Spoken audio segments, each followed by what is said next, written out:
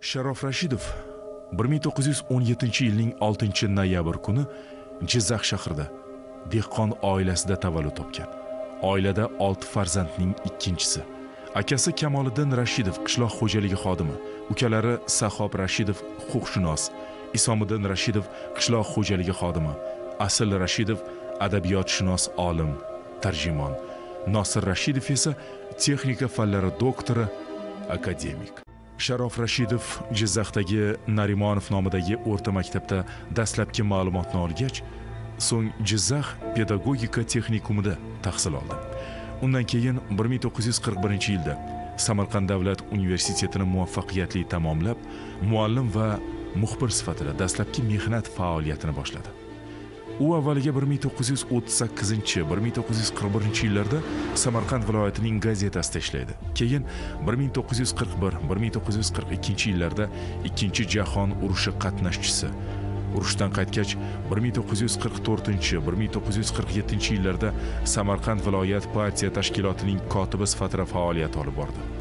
Shunday qilib tabiatan og'ir va vazmin betakror bilim va tajriba sohibi sharof rashidov sekin asta hayot pillapoyalaridan ko'tarila boshlaydi.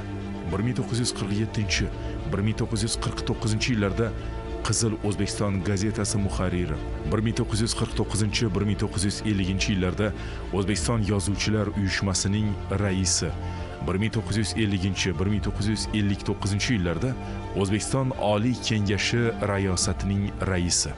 1959 yildan to umrining oxiriga qadar o'zbekiston kompartiyasining birinchi kotibi mamlakat rahbari sifatida samarali faoliyat olib bordi. Faoliyatining har bir bosqichida xalq dardi uning manfaatlarini doimo ustun qo'yib yashadi. Sharof rashidovning ijodi 20 asr 30 yillarning ikkinchi yarmidan boshlangan bo'lib uning adabiyotga kirib kelishida tog'asi hamid olimjonning o'rni alohida bo'lgan.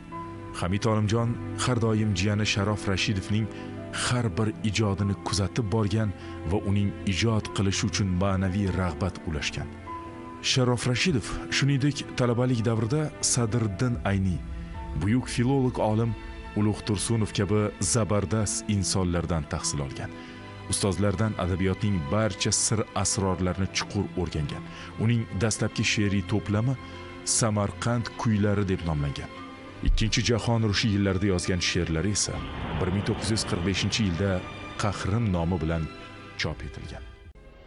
Adib o'zbek adabiyotida o'ziga xos o'ringa ega bo'lgan g'oliblar bo'rondan kuchli qudratli to'lqin kabi asarlar yaratgan. Bu asarlarda o'zbek xalqining urushdan keyingi tiklanish yillaridagi buyuk mehnat jasorati o'z badiiy ifodasini topdi. Undan tashqari ijodkorning kashmir qo'shig'i komde va mudan kabi lirik qissalari va koinot kino qissasi an'anaviy sharq dostonchiligi uslubida bitilgan bo'lib yoshlik bahor go'zallik hayot nashidasi madhiga bag'ishlangan.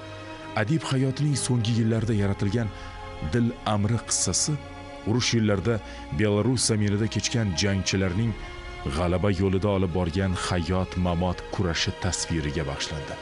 Bunga qadar sharof rashidovning asarlari dunyoning yetmishdan ziyod tillariga tarjima qilingan va ular sevib mutolaa qilinmoqda. Bizning buyuk farzandi sharof rashidov shaxsi haqida gap ketganda uning o'zbek davlatchiligi tarixida tutgan buyuk xizmatlari ayniqsa tahsinga sazovordir u qariyb chorak asr mobaynida mamlakatni boshqardi. Davlat rahbari sifatida xalqni og'ir sinovlardan mardonavor olib chiqishga erishdi.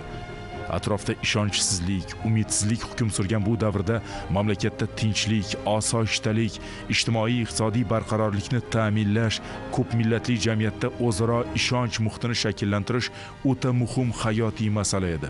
Bu borada sharof rashidov qat'iylik bilan xalqimizni yagona maqsad sari ulug' kelajakka chorladi. Og'ir sinovlar va qiyinchiliklarga qaramay o'zbekistonni rivojlantirish sari yetakladi. Respublikada har bir sohani taraqqiy ettirish uchun aynan o'zi bosh qosh bo'ldi. Shunday qilib sharof rashidov rahbarlik davrlarida mamlakatda juda katta bunyodkorlik va yaratuvchanlik ishlari olib borildi. Bu davrda odamlar endi kommunizm safsatasiga deyarli ishonmay qo'ygan edilar. Shunga qaramasdan uning boshchiligida xalq farovonligi yo'lida qator ishlar amalga oshirildi. Respublikani elektrlashtirish yaxshilandi va gazlashtirish boshlandi. Uy joy madaniy maishiy inshootlar qurilishi ko'paydi. Xalq farovonligi ancha oshdi. Sharof rashidov xalqimiz qalbidan chuqur joy olgan mamlakatimiz taraqqiyoti yo'lida tinimsiz faoliyat olib borgan davlatchiligimiz tarixi zarvaraqlarida beqiyos o'rin tutgan zabardast inson. Uning yorqin xotirasi hamisha xalqimiz qalbida yashaydi.